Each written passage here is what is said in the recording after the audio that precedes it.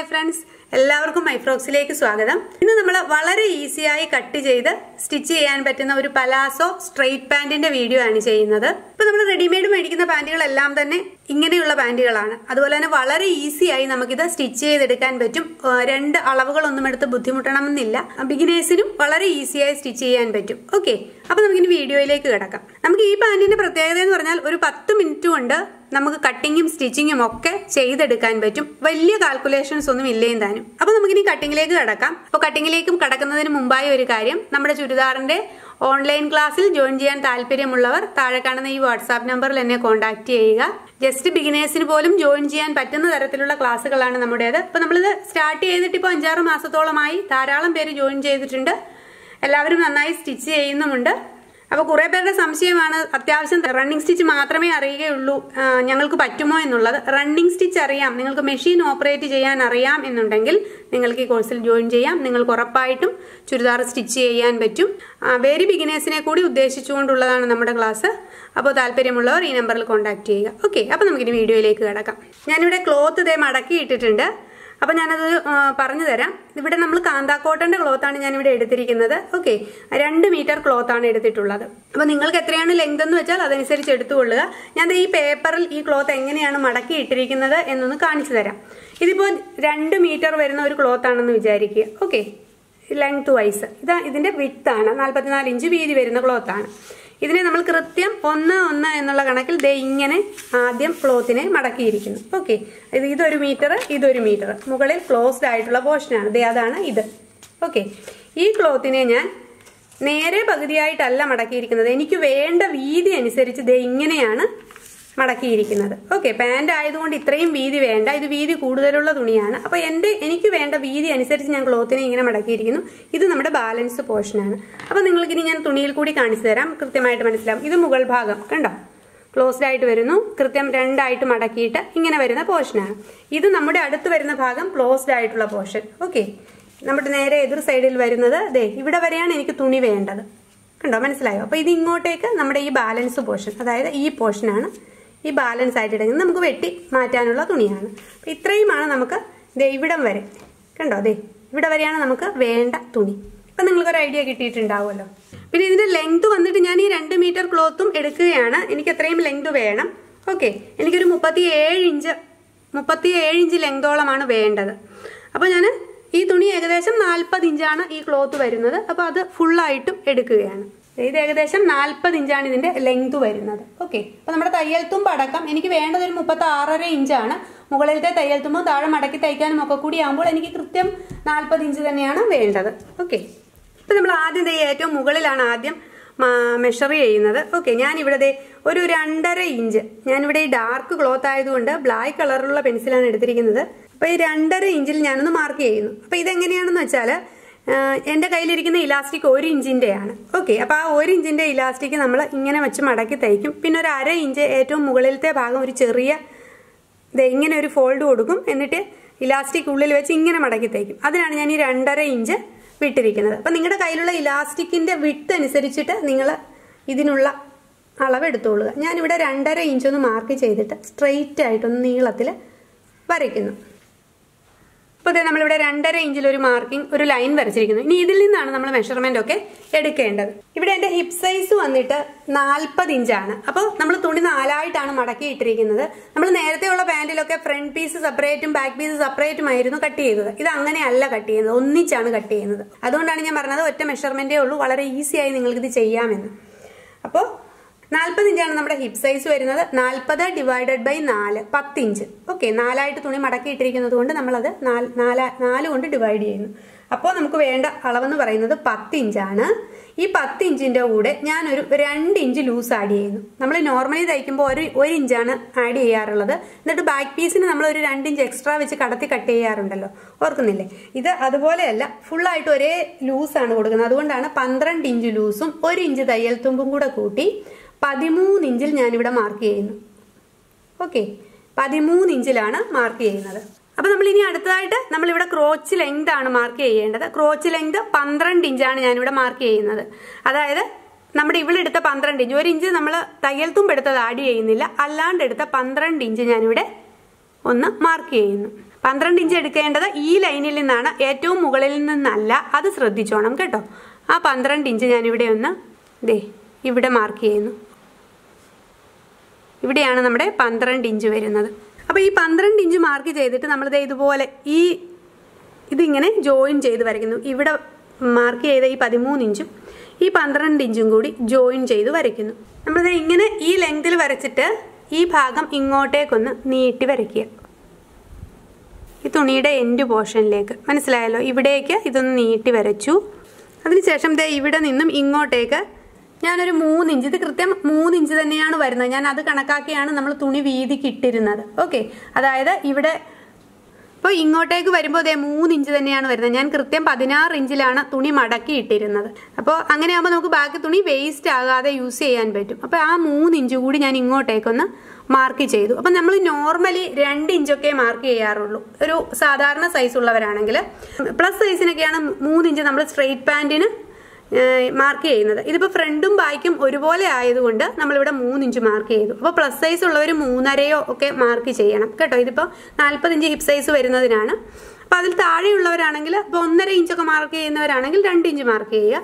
അപ്പോൾ ഇവിടെ നിന്നും എന്നിട്ട് നമുക്കിത് ഇങ്ങനെയൊന്ന് കർവ് ചെയ്ത് ഒത്തിരി കർവാക്കണ്ട ഒരു ഇത് ഇങ്ങനെയൊന്ന് ഇങ്ങോട്ടേക്കൊന്ന് കർവ് ചെയ്ത്.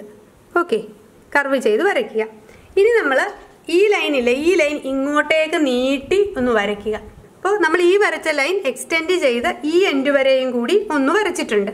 ഇനി നമ്മൾ താഴെയായിട്ട് താഴത്തെ നമ്മുടെ ലെങ്ത് ഞാൻ പറഞ്ഞല്ലോ എനിക്ക് വേണ്ട ലെങ്ത് എന്ന് പറയുന്നത് ഒരു മുപ്പത്തി ഏഴ് ഇഞ്ചാണ് എനിക്ക് വേണ്ട ലെങ്ത് വരുന്നത്.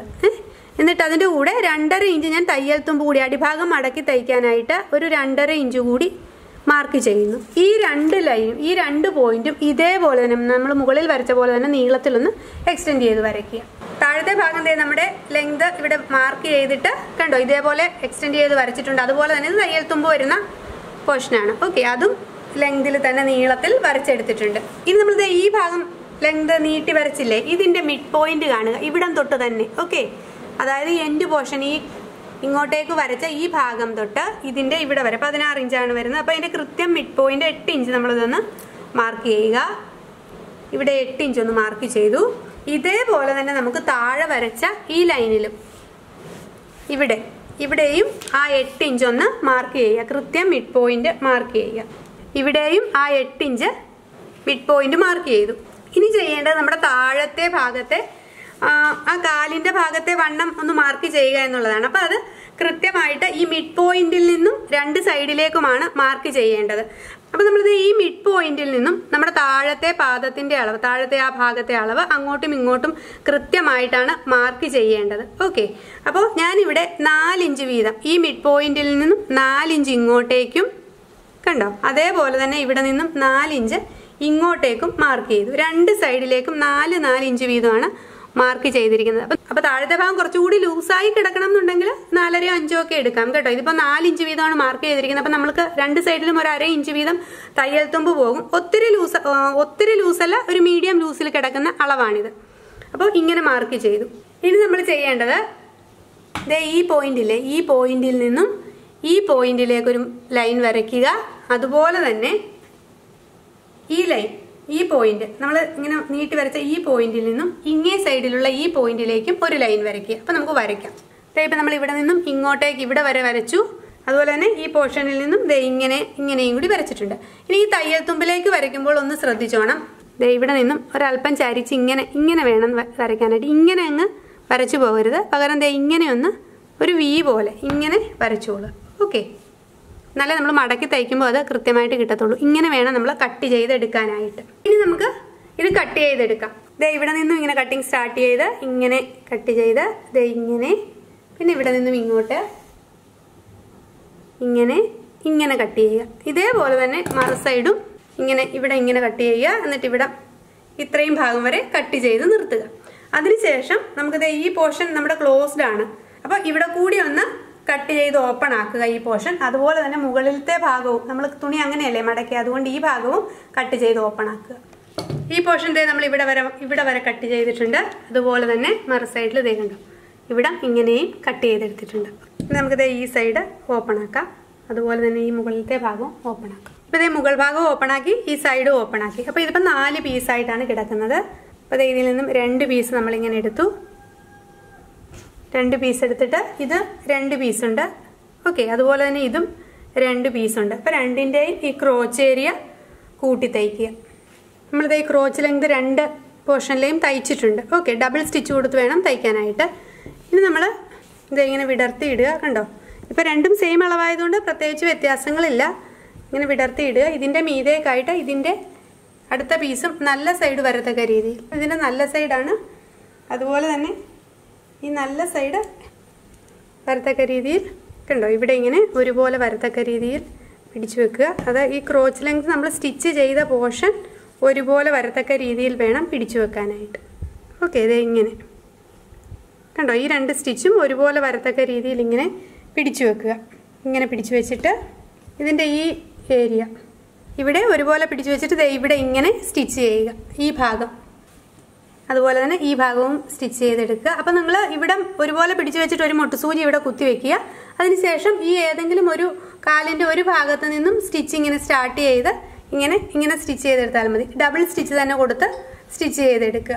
ഈ ഭാഗം എന്തേ നമ്മൾ സ്റ്റിച്ച് ചെയ്തിട്ടുണ്ട് ഇങ്ങനെ. കണ്ടോ? ഈ ക്രോച്ച് ലെങ്തിന്റെ ഈ പോർഷൻ ഈ ഈ ഭാഗം ഇങ്ങനെ ഫുള്ളായിട്ട് സ്റ്റിച്ച് ചെയ്തെടുത്തിട്ടുണ്ട്. ഡബിൾ സ്റ്റിച്ച് കൊടുത്തിട്ടുണ്ട്. ഇനി നമ്മൾ ഈ രണ്ട് സൈഡുമാണ് കൂട്ടി തയ്ക്കേണ്ടത്. ദേ ഈ ഭാഗം. ഇങ്ങനെ ഇവിടെ തൊട്ട് മുകളിൽ നിന്ന് തുടങ്ങി താഴെ വരെ. ഇപ്പം നിങ്ങൾ താഴെ സ്ലിറ്റ് ഇട്ടാണ് തയ്ക്കുന്നത് എന്നുണ്ടെങ്കിൽ അതിന്റെ ഇവിടെ വരെയും തയ്ച്ച് നിർത്തിയതിന് ശേഷം സ്ലിറ്റ് തയ്ക്കുക. അങ്ങനെയല്ല സ്ലിറ്റ് ഇല്ലാതെയാണ് തയ്ക്കുന്നതെന്നുണ്ടെങ്കിൽ ഫുള്ളായിട്ട് തന്നെ ജോയിൻ ചെയ്തെടുക്കുക. ഫുള്ളായിട്ട് ജോയിൻ ചെയ്തതിന് ശേഷം മാത്രം അടിഭാഗം മടക്കി തയ്ച്ചാൽ മതി. ഇതേപോലെ തന്നെ ഈ സൈഡും ടോപ്പ് ഭാഗം തൊട്ട് താഴെ ഈ എൻഡ് വരെയും സ്റ്റിച്ച് ചെയ്തെടുക്കുക. അതിനുശേഷം നമ്മളിവിടെ ഇവിടെ വരച്ചിട്ടുണ്ട് കണ്ടോ? അപ്പോൾ ആ ആ ഇവിടെ ഒരു ഹാഫ് ഒന്ന് മടക്കുക. അതിനുശേഷം ഇങ്ങനെ മടക്കിയിട്ട് ഒന്നുകൂടി മടക്കി. ഈ വര വെച്ചിരിക്കുന്ന ആ ഭാഗത്ത് വെച്ച് ദേ ഇവിടെ വരെ ഇങ്ങനെ മടക്കി അതിനുശേഷം ഒന്നുകൂടി ഇങ്ങനെ മടക്കി അടിഭാഗം വട്ടത്തിൽ മടക്കി തയ്ക്കുക ഇവിടം കൂട്ടി തയ്ച്ചതിന് ശേഷമാണ് നമ്മൾ എടുക്കുന്നത്. സ്ലിറ്റ് ഇടാണെങ്കിൽ ഇവിടെ വരെ വന്ന് നിർത്തിയിട്ട് സ്ലിറ്റ് എത്ര ഇറങ്ങുന്നത് ഒരു രണ്ടിഞ്ച് മൂന്നിഞ്ചൊക്കെയാണ് എടുക്കുന്നത്. അപ്പം ഈ നമ്മൾ വരച്ചിരിക്കുന്ന ഈ വരയിൽ നിന്നും മുകളിലേക്കാക്കി വേണം. ആ കണ്ടോ ഇത്? ഇത് നമ്മുടെ മടക്കി തയ്യൽ വരുന്ന പോർഷനാണ് ഓക്കെ അപ്പം ഇവിടെ നിന്നും മുകളിലേക്ക് വേണം നമ്മൾ മെഷർമെന്റ് എത്രയാണെന്ന് വെച്ചാൽ എടുത്ത് മാർക്ക് ചെയ്ത് സ്ലിറ്റ് ഇട്ട് തയ്ക്കുക. ഇല്ലെങ്കിൽ വട്ടത്തിൽ തന്നെ മടക്കി തയ്ച്ചെടുത്തുള്ളൂ നമ്മൾ സൈഡ് സ്റ്റിച്ച് ചെയ്തിട്ടുണ്ട് ഫുള്ളായിട്ട് അതുപോലെ തന്നെ അടിഭാഗം മടക്കി തയ്ച്ചിട്ടുണ്ട്. ഞാനിവിടെ സ്ലിറ്റ് ഉപയോഗിച്ചിട്ടില്ല. വെറുതെ മടക്കി തയ്ച്ചിരിക്കുകയാണ് ചെയ്യുന്നത്. ഇനി ഇനി അടുത്ത് അതുപോലെ തന്നെ മറു സൈഡും തയ്ച്ചെടുത്തിട്ടുണ്ട്. ഇനി അടുത്തതായിട്ട് ചെയ്യേണ്ടത് നമുക്ക് ഈ ഇലാസ്റ്റിക് ഇടാനുള്ള പോർഷൻ കൂടി തയ്ക്കുക എന്നുള്ളതാണ്. അതുകൂടി കഴിഞ്ഞാൽ നമ്മുടെ സ്റ്റിച്ചിങ് കഴിഞ്ഞു. അപ്പോൾ ഇലാസ്റ്റിക് ഇടാനായിട്ട് നമ്മൾ ഇവിടെ ആദ്യം തന്നെ കണ്ടോ? ഇങ്ങനെ ഒരു ലൈൻ വരച്ചിട്ടുണ്ട് ഇല്ലേ രണ്ടര ഇഞ്ചിൽ ആദ്യമേ ലൈൻ വരച്ചിരുന്നല്ലോ. അപ്പോൾ ആദ്യം ഒരു ചെറിയ ഫോൾഡ് കൊടുക്കുക. അതിനുശേഷം ഈ ലൈനിലേക്ക് നമ്മുടെ ഇതേ കണ്ടോ ഈ വരച്ചിരിക്കുന്ന ഈ ലൈനിലേക്ക് ഇതിങ്ങനെ വെച്ച് ഇങ്ങനെ ഫുൾ റൗണ്ട് ഓക്കെ ഇങ്ങനെ ഫുൾ റൗണ്ടിൽ സ്റ്റിച്ച് ചെയ്തെടുക്കുക. അപ്പോൾ നമ്മുടെ ഇലാസ്റ്റിക് ഞാൻ ഇവിടെ കട്ട് ചെയ്ത് വെച്ചിട്ടുണ്ട്. ഇലാസ്റ്റിക്കിന്റെ വലിപ്പം കൂടി നോക്കുക. ഞാനിവിടെ ഒരു ഇഞ്ചുള്ള ഇലാസ്റ്റിക്കാണ് എടുത്തിരിക്കുന്നത്. അപ്പോൾ എനിക്ക് രണ്ടര ഇഞ്ച് ലെങ്ത് മതിയാവും. അപ്പോൾ ഒന്നര ഇഞ്ച് ഒക്കെ വീതിയുള്ള ഇലാസ്റ്റിക് ആണെങ്കിൽ അതനുസരിച്ച് എടുത്തോളുക. അതുപോലെ തന്നെ ഈ ഇലാസ്റ്റിക്കിന്റെ ലെങ്ത് ഞാനൊന്ന് പറയാം. നിങ്ങൾ എവിടെയാണോ പാന്റ് ഇടുന്നത് ആ ഭാഗത്തെ വണ്ണം മെഷർ ചെയ്യുക. അല്ലാതെ ടോട്ടൽ പാന്റിന്റെ ഈ ഭാഗത്തെ അല്ല എടുക്കേണ്ടത്. കാരണം ഈ ഹിപ് സൈസ് ഈ വണ്ണം എന്ന് പറയുന്നത് നമ്മുടെ ഏറ്റവും വണ്ണം കൂടിയ ഭാഗത്തെ വണ്ണമാണ് നമ്മൾ ഇത് എടുത്തിരിക്കുന്നത്. അത് അങ്ങനെ അതല്ല എടുക്കേണ്ടത്. നമ്മൾ പാന്റ് എവിടെയാണോ ഇടുന്നത് ആ ഭാഗത്തെ വണ്ണം മെഷർ ചെയ്യുക. അതിൽ നിന്നും ഒരു നാലിഞ്ച് മൂന്നോ നാലോ ഇഞ്ച് കുറച്ച് ഇലാസ്റ്റിക് എടുക്കുക. ഇലാസ്റ്റിക് വെക്കുന്ന വിശദമായ വീഡിയോ നമ്മുടെ ചാനലിലുണ്ട് അപ്പോൾ ഒട്ടും അറിയാത്തവരാണെങ്കിൽ അതൊന്ന് കണ്ടു നോക്കുക. അപ്പോൾ ഇതിങ്ങനെ മടക്കി ഇതിങ്ങനെ ഫുള്ളായിട്ട് സ്റ്റിച്ച് ചെയ്തെടുക്കുക. ഫുൾ റൗണ്ടിൽ ഓക്കെ ഇതിങ്ങനെ ഫുൾ റൗണ്ടിൽ ഇങ്ങനെ സ്റ്റിച്ച് ചെയ്തെടുക്കുക. സ്റ്റിച്ച് ചെയ്തെടുക്കുമ്പോൾ ഒരു കാര്യം ശ്രദ്ധിക്കുക. നമ്മളിപ്പോൾ ഇവിടെ നിന്നാണ് സ്റ്റിച്ചിങ് സ്റ്റാർട്ട് ചെയ്യുന്നതെന്ന് വെച്ചോ. ഇവിടെ ഇവിടെ നിന്ന് ഇങ്ങനെ ഇങ്ങനെ തയ്ച്ചാണ് ഇങ്ങനെ സ്റ്റിച്ചിങ് സ്റ്റാർട്ട് ചെയ്യുന്നതെങ്കിൽ ഇതിങ്ങനെ ഫുൾ റൗണ്ട് തയ്ച്ച് ഇവിടെ കൊണ്ടുവന്ന് നിർത്തുക. ഒരു ഒരു ഇഞ്ച് ഗ്യാപ്പിൽ ഇവിടെ നിന്ന് സ്റ്റാർട്ട് ചെയ്ത് ഇവിടെ കൊണ്ടുവന്ന് എൻഡ് ചെയ്യുക. നമുക്ക് ഇലാസ്റ്റിക് ഇടാനായിട്ട് ഇവിടെ ഇങ്ങനെ ഒരു ഗ്യാപ്പ് ഇട്ടേക്കുക. ഓക്കെ നമ്മളിത് ഇതിനുള്ളിലൂടെ ഇലാസ്റ്റിക് കടത്തിയിട്ടുണ്ട്. കണ്ടോ ഇതുപോലെ ഒരു ഗ്യാപ്പ് സ്റ്റിച്ച് ചെയ്തപ്പോൾ ഇവിടെ നിന്ന് സ്റ്റാർട്ട് ചെയ്ത് ദേ ഇങ്ങനെ ഇവിടെ ഫുള്ളായിട്ട് തയ്ച്ച് കേട്ടോ ഇവിടെ കൊണ്ടുവന്നാണ് എൻഡ് ചെയ്തത്. അപ്പോൾ രണ്ടിടത്തും ഡബിൾ സ്റ്റിച്ച് തന്നെ സ്റ്റാർട്ടിങ്ങിലും എൻഡിങ്ങിലും കൊടുക്കണം കേട്ടോ. എന്നിട്ട് നമ്മൾ ഇതിനുള്ളിലൂടെ ഇലാസ്റ്റിക് കിടത്തിയിരിക്കുകയാണ്. ഇനി ഈ ഇലാസ്റ്റിക് ഇത് കൂട്ടി ഇങ്ങനെ ഒരു മൂന്നാൽ സ്റ്റിച്ച് കൊടുക്കുക. അതിനുശേഷം ഇത് ഉള്ളിലേക്ക് ആക്കി വെച്ചിട്ട് ഓക്കെ ഇത് ഉള്ളിലേക്ക് ഇങ്ങനെ ആക്കി വെച്ചിട്ട് ഇത് ഈ ഗ്യാപ്പ് കൂടി അങ്ങ് സ്റ്റിച്ച് ചെയ്തെടുക്കുക. അപ്പോൾ നമ്മൾ പാന്റിന്റെ ആ മുകൾ ഭാഗം ആ ഗ്യാപ്പ് ഉണ്ടായിരുന്ന പോർഷൻ കണ്ടോ സ്റ്റിച്ച് ചെയ്തിട്ടുണ്ട്. ആ ഗ്യാപ്പ് ക്ലോസ് ചെയ്തു. അപ്പോൾ അങ്ങനെ നമ്മുടെ അടിപൊളി പലാസോ സ്ട്രെയിറ്റ് പാന്റ് റെഡി ആയിട്ടുണ്ട്. വളരെ ഈസിയായി സ്റ്റിച്ച് ചെയ്യാൻ പറ്റുന്ന ഒരു പാന്റാണ് അപ്പോൾ എല്ലാവരും ഒന്ന് ട്രൈ ചെയ്ത് നോക്കുക. നമ്മൾ സാധാരണ സ്ട്രെയിറ്റ് പാന്റ് തയ്ക്കുന്ന അത്രയും ബുദ്ധിമുട്ടില്ല. കാരണം അതിൽ വേറെ കോംപ്ലിക്കേഷൻ വരുന്ന അളവുകളൊന്നും ഇല്ലാത്തത് കൊണ്ട് മനസ്സിലാകാൻ ബുദ്ധിമുട്ടുള്ള ആൾക്കാർക്ക് വളരെ ഈസിയായി സ്റ്റിച്ച് ചെയ്യാൻ പറ്റുന്ന ഒരു പാന്റ് കൂടിയാണ്. അപ്പോൾ എല്ലാവരും ഒന്ന് ട്രൈ ചെയ്ത് നോക്കുക. Thank you for watching